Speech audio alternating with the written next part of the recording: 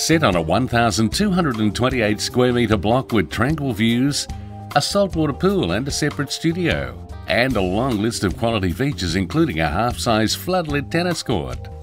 On entry, a spacious formal lounge along with a separate dining area. And all the way through to the casual living and dining areas with a combustion fireplace and soaring high ceilings. There's a separate air conditioned studio or teenagers retreat, and four large built in bedrooms, all with ceiling fans.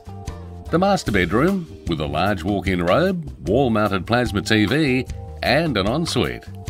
The main living areas and the studio all have air conditioning, and there's an expansive outdoor entertainment area complete with a built in barbecue area. Plus, the perfect partner to your entertaining, a huge kitchen boasting quality stainless steel Miele oven and oodles of cupboard and bench space.